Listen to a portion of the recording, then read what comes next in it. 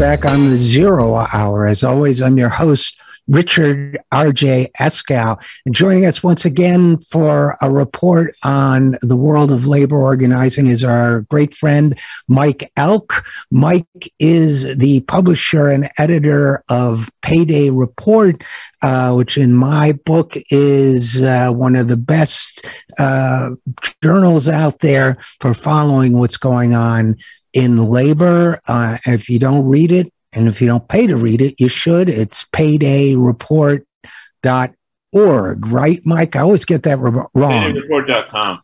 Yeah, I mean, I have it open all the time, so I never have to go to the URL.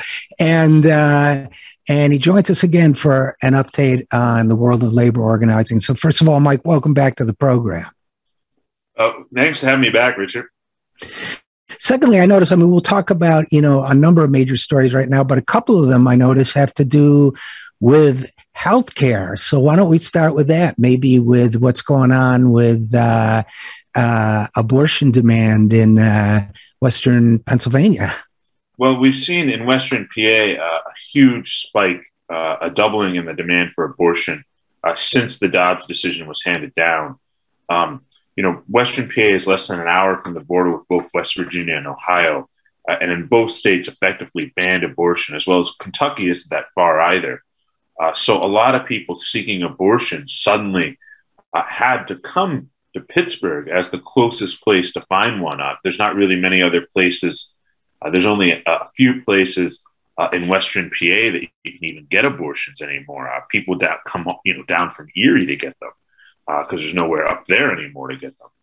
Uh, and so, you know, we've seen a huge influx of people. Uh, and at the same time, you know, Planned Parenthood is one of those massive nonprofits that's almost a corporation, if that makes much sense. Sure. Uh, they operate like a corporation. Uh, they bring in, you know, hundreds of millions, uh, if not billions of dollars every year. Uh, they're a massive nonprofit complex with individual state affiliates scattered throughout the nation. Um, and so we're going to, um, you know, we've been looking a lot into this uh, because, you know, providing abortion access really depends upon how many workers you have. And the other day I was at a rally. Uh, some women were joining United Electrical Workers 696 here. Um, it's uh, about 120 uh, folks. Um, most of them are healthcare assistants and administrative workers. Uh, and one of the scariest things to hear was the call center workers, right? All these people call for appointments uh, when they want to get an abortion. Um, all these people uh, call for appointments uh, and all that other kind of stuff. And, um, you know, all the time. And, you know, they were saying on the day that the Dobbs decision came down that there was only one person uh, in the call center. And so people had to volunteer to come in and help out uh, because there were so many people calling from Ohio and West Virginia who had had their abortions uh, canceled. Uh, so we're seeing a huge spike in demand at Planned Parenthood here in Western PA. But at the same time, uh, they're paying so low wages and there's so much understaffing uh, that they can't meet the demand. Um, you know, you're looking at call center workers that are making 16, 50 an hour. You know, I was talking to folks that said they had to sell their plasma to get by, that, um, you know, went on food stamps to get by. It's a very uh, difficult uh, situation. Uh, and at the same time, uh, you know, folks, there's, there's, you know, there's, um, within, you know, Planned Parenthood recruits a lot of young, uh, idealistic folks that want to help make abortions accessible to lots of folks and that makes them easy to exploit um, because they'll get folks that are there for the mission, uh, that are willing to put up with the low wages. And if you look at what's happening right now across the country, uh, you know, Planned Parenthood is on a fundraising bonanza, uh, and they could afford to pay these folks more. They could afford to create more sustainability. Uh, and one person, you know, stood up and said at this rally the other day that, you know, the leadership of Planned Parenthood is as much of a threat to abortion rights as the state legislatures in some of these GOP areas, as the Supreme Court, uh, because they're not providing enough services. Uh, and at the same time, we've seen, uh, you know, they've been trying to negotiate a union contract here for 14 months. It's a really long time to negotiate a union contract if you're trying in good faith. Um, we've seen in uh, Massachusetts uh, that abortion workers there, uh, when they tried to organize, management told them not to, that it could hurt them in this era of Roe and Dobbs. Um, and, you know, we saw uh, the, the Guttmacher Institute, uh, you know, they fired an organizer. So you're seeing these huge uh, corporation like nonprofits fight back against this organizing. And a lot of these groups are headed by folks that claim to be progressives. Well, and you know, when you talk about the emotional burden that these workers carry, Mike. Uh, you, you, quote somebody, you quote one such worker as saying, her name is Tara Crow. You quote her as saying, I hold their hand, meaning the patients. I hold their hair back while they vomit. I, I tell them you are not alone. I go to the patient and I repeat a similar process. Myself and my coworkers do this sometimes up to 20 times a day. You know, the stress just unbelievable. I've always been of the view that uh, you know, if if you don't support union organizing, you're not truly progressive. So, uh, are these workers? They're they're not. Uh, it sounds pretty clear that they're not getting support from their organization and their union efforts. Uh, yeah, I mean they're not. Yeah, they're not getting support from the the organization and their union efforts. People are very upset about this. And it's something that I think our movement has a hard time grappling with. Um, and I think, you know, it was interesting to think about uh, a month or two ago, I was at a screening of the movie Jane, um, which it was about uh, uh, an abortion service uh, in the 60s where women were training other women that weren't necessarily medical workers to give abortions. And in the movie Jane, you know, you, you think about, you know, when these kind of services first started, they were very anarchistic services. And now they've grown into these huge nonprofits where you have these leaders that, that don't have the best interest of workers at heart all the time. Right. And, and you know, uh, obviously, uh, it, it should go without saying that the leadership of that Planned Parenthood as, as, an organization does a lot of great work. I don't think anybody's questioning that, uh, both in terms of abortion services and other health services. That's not the question, but uh, the difference between people, you know, let's say who are economically comfortable, uh, uh who are providing volunteer services as as a form of charity as an option uh, that's one thing. But if you're asking working people who need to survive, uh, you can't ask them to make sacrifices uh, in the working class in this economy right now. That's two separate things. And uh, I think you can both be progressive and support the work of Planned Parenthood and support the right of workers in this field to make a, to organize for themselves and make a living wage. And to me, that's the point of uh, your excellent reporting in this area. Yeah, I mean, I, I, think, and I think you know we see this across the board in the nonprofit space. Certainly, as people who spent our career in nonprofit journalism, we've seen a lot of exploitation. Sure. Um, but at the end of the day, you know, people have basic needs, and if you can't meet your basic needs, how can you help meet the needs of others? Right. And this to me is, you know, uh, you're right about the nonprofit space. And it goes back to the discussions which I think have largely gone our way since then. About, you know, there was a time when a lot of nonprofits were using unpaid interns, and, you know, there have been a number of labor issues that we've had to struggle through. And the fact is, people in every field deserve a living wage. This is a fight for this. On this fight, uh, what's the next? What's the current status, Mike? And what's the what? You, what's well, next? Contract negotiations now. Uh, there was a big rally the other day. Maybe that would apply some pressure. Uh, the mayor of Pittsburgh showed up to the rally, uh, and I think what he said was interesting was that you know, and I think the mayor of Pittsburgh, Ed Gainey, he's a black mayor. He's progressive. He just took power this year.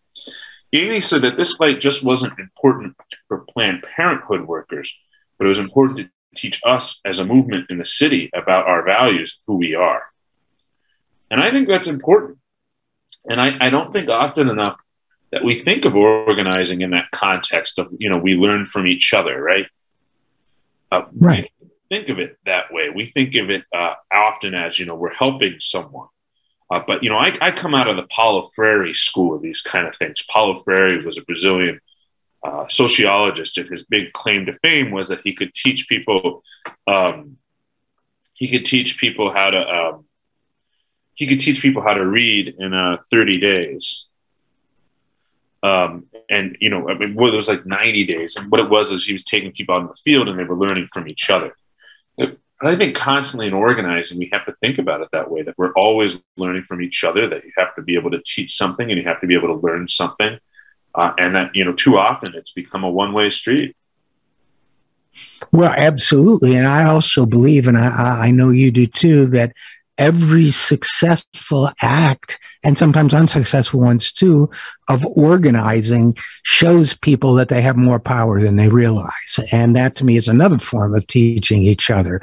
Um, but as long as we're on the topic of healthcare you also covered uh, i wrote about uh, a new sort of fledgling uh, independent pharmacists union that was uh, organizing a walkout and uh, or maybe had organized a walkout and was also uh, organizing some action in southern california. What's that about? Well so these are the two different units. There's a fledgling independent oh, okay. union that last december organized a walkout nationwide and has been trying to organize folks nationwide. Uh, and then um, there's the UFCW locals, Southern California represent about 600 pharmacists at the, at the grocery stores there. Uh, and they just voted to strike. Uh, pharmacists have been on the front lines of the pandemic. Uh, and they've been getting abused and abused and abused with the more consolidation. I mean, a pharmacist used to be able to really help people, used to be able to really talk to people about their medication, spend time with people. And, you know, they, a lot of them were working in these independent stores, and someday they might be partners. But now we've seen this huge consolidation of all these big chains, CVS and uh, Walgreens, and, and you know a lot of them also own uh, right. healthcare firms. Uh, a lot of them have clinics, uh, and we're seeing less and less workers there, and less and less pay. I mean, you're seeing people coming out of college, pharmacy school, 200k in debt, making 40k a year, uh, and there's no way they're going to be able to survive on it. Right. You know. Yeah, no, absolutely. I have a friend who's a pharmacist who's uh, uh, broke away from that system, is trying to run an independent pharmacy along ethical lines, and we become good friends. And uh, uh, by the way, he said to me, "Do you know this guy, David Dayen?" And uh, he met David Dayen from the Prospect, who we both know. And I said, "Yeah, he's a good friend of mine. You know, he's edited some pieces for me, and he's been on my show a few times. He's a hero." He said, "You know, because of uh, what he's written. These guys, whether they're independent or whether they're working for one of the big chains, they're being squeezed right and left. Like you say, they come out of college with huge debt. They make very little." and they're frontline health workers. They are, you know, they're professionals. They're ex, you know, they make life and death decisions. If they make a mistake, it can kill somebody. Um, so they're really being mistreated. So what's this? And they deserve a union. What's the status of these organizing efforts? Well, I think the status is. Oh, sorry. Uh, Wake up, Mike. Wake up. Okay. Sorry, I was up late writing. All right. There's a lot of ongoing organizing. Um, uh, and, you know, there's a lot of stuff going on right now uh, with the organizing uh, across the country. And I think it's picking up. Uh, there's been a lot of viral momentum. Um, and I think we're seeing a similar pattern to what we saw during the teacher strikes, which is that people are organizing through social media. They're horizontally organizing, right? Uh, they're not waiting for big organizations to come around and do it anymore. Obviously, right. independent fledgling unions do this puts pressure on the more established unions. I mean, certainly we saw this at Amazon and other places to do more because if these guys with no resources can organize stuff, why can't the unions with big resources do stuff? And I think right. we're all a little too cautious. You know, I think I think you know the other day I was talking to someone and they were saying, well, how, how do I organize? I don't have a plan to do it with these folks. And I, I said, look, you just got to organize and you guys have to develop a plan. You know, you just have to do it. I think too often, you know, I think paralysis comes in organizing because people think about not doing stuff. I mean, it reminds me of what you taught me when I was about 23. more than a decade ago about writing, which is that once you stop, the moment, the lack of the momentum kills you. Right. And I Right. think we get into these places where organizing uh, organizers become debating committees. Oh, we need this approach. We need that approach. Eh, The truth is, there is no one approach. You know, uh, there's nothing I hate more as a labor reporter than when a publication calls me up and asks me to write a piece on how do we save the labor movement. I don't think there's any one answer. Right. Right. the biggest answer is that we, we have to be not afraid to improvise, that we have to be not afraid to be creative, we have to be uh, not tied to tactics because we get tied into so much cautiousness uh, that we don't do anything, uh, that, that there's no momentum. That uh, I remember organizing, the News Guild was trying to, talking not really about organizing freelance writers in the early 2010s. And I would go to these meetings, and the meetings would be about having more meetings to potentially talk about how we develop a plan. And it's like, well, let's just fucking do something, you know? Right. Right. You know, and every work situation is different, right? So there's no formula. I mean, uh, pharmacists, speaking of formulas, formula, pharmacists who work at the supermarket chains are in a different situation than Amazon workers in a in uh, in large uh, shipment centers, and uh, you know, and so on and so on and so on. So you can't just say there's one. It's like, hey, we work in this place here, and we know what our situations are. We know what where the weak spots for our bosses' businesses are. We know the pressure points are. So beyond a certain point, it's listen. Uh, we know what we need. We need more pay. We need better benefits. We need predictable hours so we can arrange childcare, whatever it may be. There's you know, you know, a whole set of issues. So you know, we draw up a list of demands. We say if you don't do this, this, and this, we're going to do that, that, and that and then you do it. You know, maybe you need some advice on certain things, and you know, hopefully, we'll do more and more to build up a bank of people you can call. But essentially, you're right. You know, you take the power. You don't wait for somebody to um, to give it to you. You know, one of one of my, and then I'll stop talking. But one of the favorite things of uh, I heard somebody of my generation say was at one of these like conferences somebody said uh, to someone of roughly my age, um, when is your generation going to step aside and let my generation take over? And he said, come get it. He said, you know, we didn't like ask anybody's permission to do what we did, and we don't expect you to ask ours. Go in and take over, push us out of the way. Nothing would make us happier. And that's the way you do things. You go and you do it. Do you get what I'm driving at? Oh, I get totally what you're driving at. I mean, I think, you know, Bill Greider wrote about this right after the 2017 election, I mean, 2016 election, which is that people learn a language and they learn it as they're growing. I, I was thinking of Bill the other day. Um, there was this 22 year old kid outside of Louisville, and, you know, Bill worked in Louisville for years and he was trying to organize an Amazon facility. And I interviewed him, and he's and he's he's got a kid too, so he's really putting his neck out there. I interviewed him, and he was saying, you know, I didn't know anything about organizing. Then I started watching the, the Bessemer Union Drive in Alabama at Amazon, uh, and then I started reading and going to seminars, and I started having a little committee forming, having meetings, uh, and then you know I watched uh, what happened uh, in. Um, in, with the Staten Island victory, and I decided to start organizing. I thought it was tremendously bold that a guy who was 22 year old with a kid would just go out and experiment. But that's the only way we get democracy. I mean, look, that's always been. I mean, look at SNCC. Look at the tactics they used in the South. And you know, I'm actually working on a series of stories right now about this, about intergenerational organizing. And I think our our generation, I'm 36 uh, and, and below, uh, has a lot to learn uh, from sort of your generation, you know, the 60s and the 70s generation, who really, you know, were really bold. Uh, and I think a lot of lessons. And I think the one thing that not everybody in my generation picks up on, but enough people pick up on, is the one lesson of the new left was not to denounce your parents. right. Generation. I mean, that was a, sort of an error in some ways, the new left in that sense. Right. It was. It absolutely was. I mean, in our case, we started learning amazing things about our parents like years later, you know, that we didn't even know.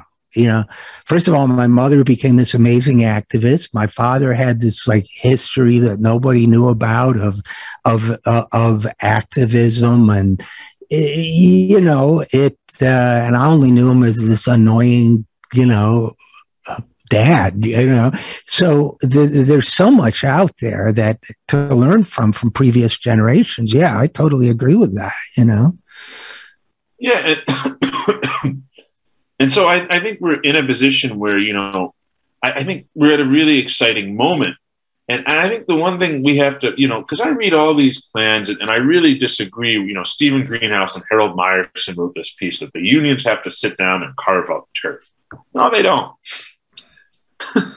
I actually think carving up turf is a really bad idea. Uh, you know, and this is what happens when the union says, "Oh, well, these workers are our territory," without organizing any workers. Workers should right. have a choice of unions, right? They should be able to choose different ones.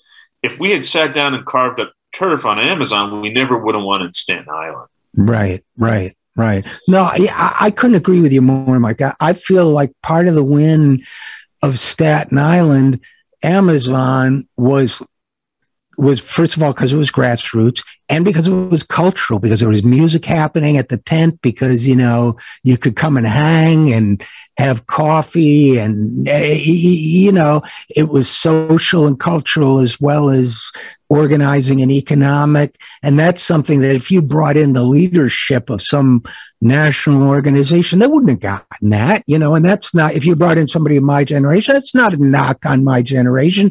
When we did our stuff back in the 70s or 60s you know our parents wouldn't have gotten what we were doing either you know i mean that that's the part where generations can learn from each other but generations also have to the older generations also have to learn from the younger ones you know. My generation has a lot to learn from somebody like chris smalls because we don't have the life experience that your generation does and we have to learn that also. It's two way oh yeah i mean you, i mean I, I don't mean to knock your generation but you guys didn't have the student debt. You guys didn't have the, right gig economy employment. Right. Uh, people could be hippies and go get a job at a factory and organize it. You know. oh, I, I told you about that, huh? Yeah, I mean, I, I, actually, you know, I mean, you could be a hippie and then go get a job whenever you wanted. You know, you work in a store, you could work in. I did work in a factory. I worked in laundry. I worked in this and that. There was always a job there. You know, if you didn't mind working, you know, some people from certain classes didn't want manual labor. I always did manual labor, so I, there was always work when I wanted work, and uh, I did know people who went into factories and organized. And, you know, when they were like one friend from high school, when she was done with that, she, you know, went to college and became like a psychologist or something and without student debt. You know, I mean, that was the option we had. So, uh, believe me, you know, I mean, one of the big, uh, one of the things that unifies the causes I work on now is the ways in which people younger than my generation got screwed that we didn't.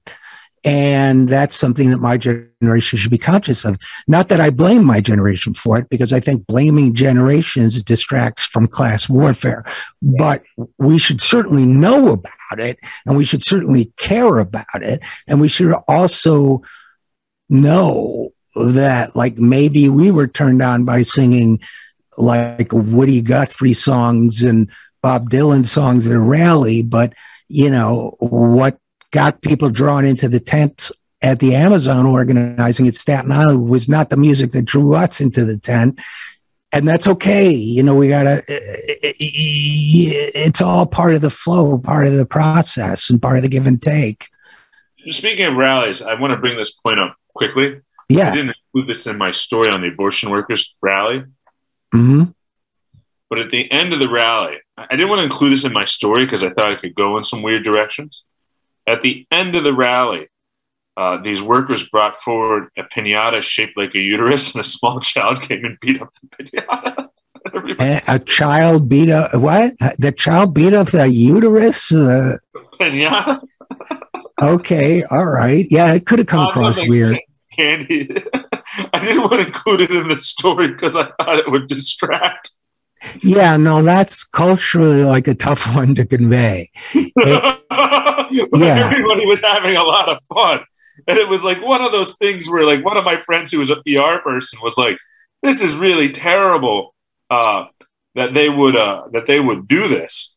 Um, well, you noticed then when you told us the messaging, but but you know what it was was that these women who were all trying to deal with really stressful situations had dark humor and just thought it would no. be really funny to, to beat up a pinata. And the women who worked at the abortion clinic were going nuts and they were clapping and, and you know everybody was laughing at the end of this really solemn rally. And that's something that I think your average union wouldn't do, but the women there just thought it was fun. And it was actually kind of a nice way to end the rally, you know. And there was no, I, I, totally understand why it worked, and I totally understand why you didn't put in this story because you'll notice, Mark, that it, it immediately turned me into my grandmother. I was like, "What a pinata? What what is this? Uterus pinata?" So yeah, it's not an easy thing to.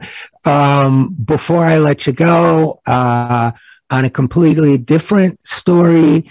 Um, in St. Louis, more than 2,500 Boeing defense, so-called defense workers, I call them military aggression workers, threatening to go on strike. Contract uh, talks, no offense to the workers, and they're workers, they're working for a living, but contract uh, talks are stalling there, and this one hits close to home. They closed your your uh, one of your favorite spots to hang out while you were in Louisville. Talk about uh, people who provide uh, services necessary for one's health.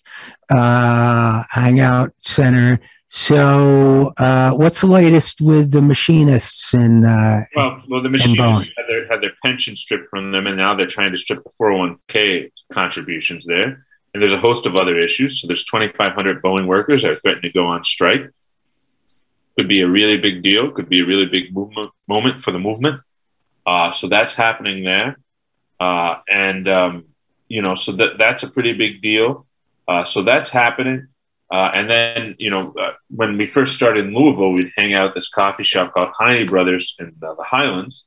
The workers there unionized. They announced they were going to close the coffee shop, turn it into a brewery that they technically own, and still sell coffee there, but also sell beer. So it seems like a scam, you know? Yeah, no, one of those uh, microbrewery type deals or whatever. Yeah. Well, there's also strike action happening right, I think, right near where I live. There's a place, there's a, mic, a small chain of uh, supermarkets called Moms. And, um, yeah. And they, uh, I know their Baltimore store. Most of them are right here in the DC area. They have a Baltimore store and they filed union actions, according to Max Alvarez at the Real News. I'm going to see if the ones around here, like College Park, are doing it also. If so, I'll go check it out.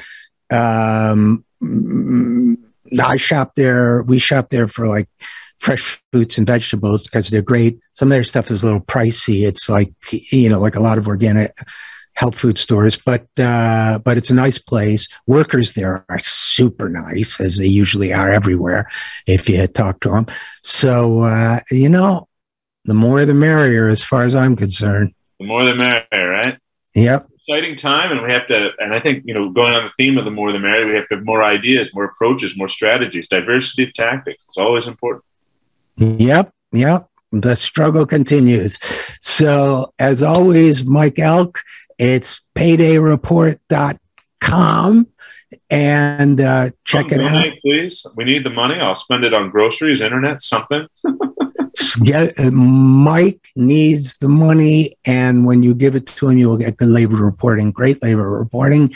And as always, thanks for great reporting, Mike. And as always, thanks for coming on the program. Thanks for having me on.